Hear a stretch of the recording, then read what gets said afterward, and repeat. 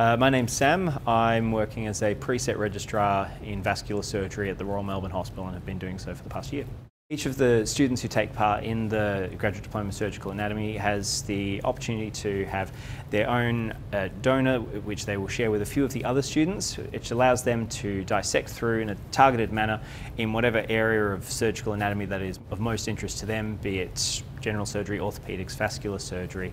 to get a better understanding of all of the structures that are relevant in their area of expertise to be.